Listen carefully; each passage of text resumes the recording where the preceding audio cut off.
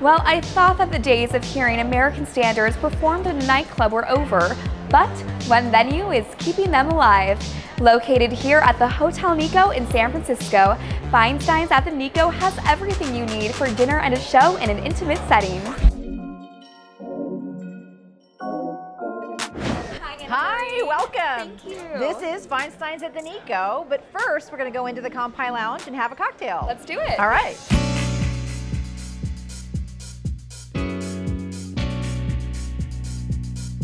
Marie, this venue is gorgeous and so unique. Can you tell me a little bit about it? Yeah, well, as you can see, the stage is just an arm's length away, and it seats 132 people.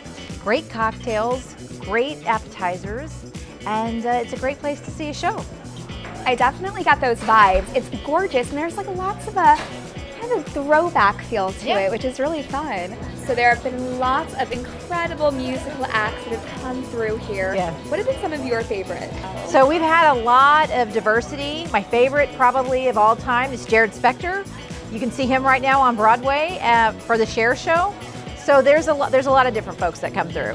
Well, it's just a different room. I think the setting is very intimate. It's small. Uh, it feels very one-on-one. So I think it's because the the quarters are so much more quaint, and the room only seats 125 people. So it is. It kind of has that old Hollywood feel to it. Uh, were you into theater?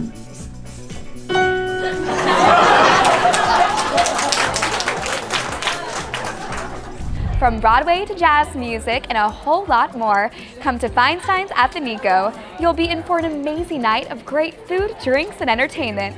Enjoy the show!